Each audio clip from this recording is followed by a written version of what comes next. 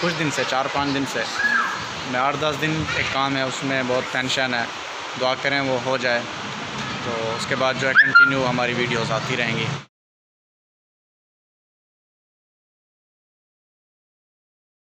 अल्लाम friends welcome करता हूँ आपको अपने यूट्यूब चैनल फ़ारूकी ब्लॉग्स के साथ। और उम्मीद करते हैं कि आप खैरियत से होंगे। और अलहमदिल्ला हम भी बिल्कुल ठीक ठाक हैं। तो दोस्तों, कुछ दिन से तबीयत सही नहीं थी। और एक मसला था, जिसकी वजह से हम वीडियो नहीं बना सके काफ़ी दिन। अभी भी वो प्रॉब्लम है इन जल्दी सॉल्व हो जाएगी।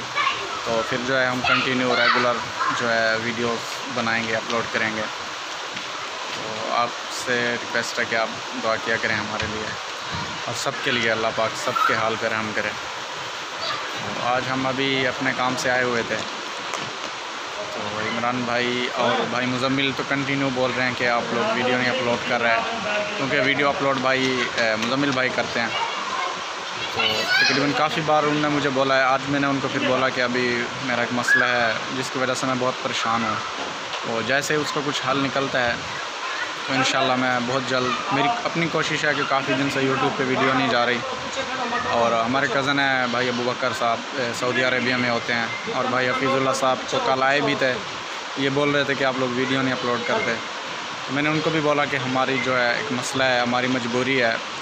तो वो जैसे ही इन जल्दी हल हो जाता है तो हम लोग जो है जल्द वीडियो शूट स्टार्ट करेंगे कंटिन्यू तो अभी यही मैं सोचा आप बता दूँ, इमरान भाई भी मेरे साथ हैं। अभी हम लोग यहाँ अपने काम से आए थे।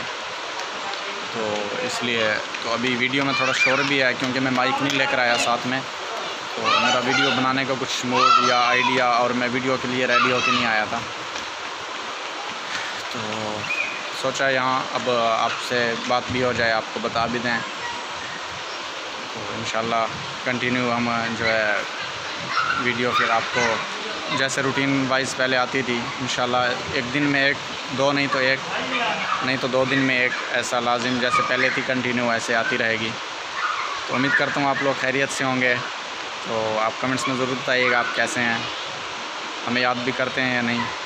तो बहुत जल्द हम हाज़िर होंगे एक वीडियो के साथ।